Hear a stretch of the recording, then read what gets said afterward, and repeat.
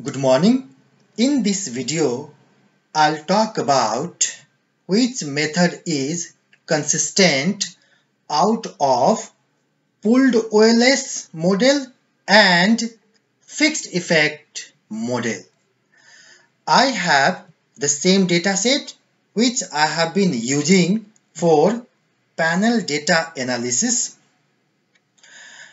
So first step is store the value or outcome of fixed effect model.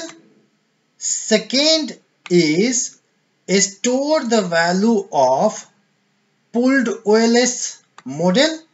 So I have already stored the value of fixed effect model in the name of FE method and pooled OLS method in the name of pooled method.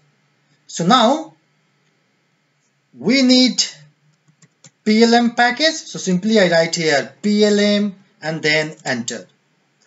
After writing this PLM in library, we simply write here pf test and then fe method comma pooled method and then enter well, this is the outcome of this pf test command. So what is our null hypothesis?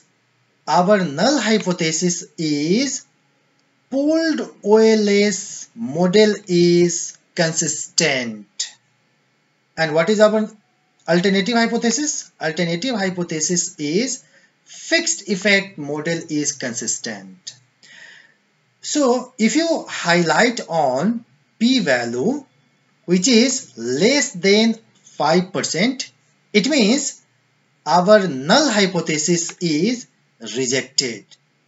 So if our null hypothesis is, is rejected, it means we can say that in this data set, fixed effect model is consistent compared to pooled OLS model.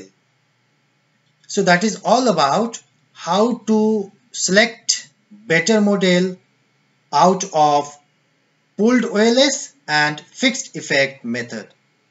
Thank you very much.